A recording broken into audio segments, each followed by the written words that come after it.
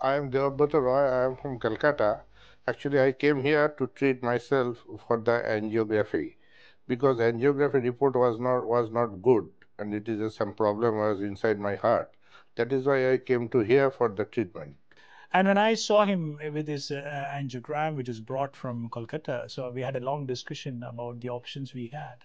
And considering as well a lot of uh, calcium, which is the sedimentation of uh, hard eggshell calcium in his coronary arteries, we, just, we told him that the options are only whether to do some drilling techniques to clear the calcium and then we can deploy stents rather than going for CABG surgery because he clearly decided that that is not an option for him. As for his advice, I am going to, I am taking the opportunity to go to the surgery what he has suggested.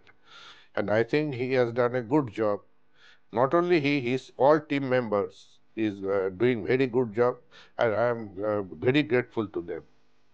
I think he, he's be happy to go ahead with this, what we call is an orbital atherectomy, which is a new technique to drill the calcium inside the blood vessels inside the heart. And the way it does it, it rotates in an orbital fashion and clears the chunk of calcium on all the sides of the artery. Particularly, these techniques are very useful in patients who have a large artery calcification, which is in the big blood vessels inside the heart. Once the surgery is over, I have taken to the I, uh, ICC unit for a one day. But the ICC unit, I have also got treated by the, uh, the uh, by the nurses and all. They are very good and they are very quiet and polite and everything and he could see a, a, uh, dramatic difference in his quality of life within the few days of undergoing the procedure.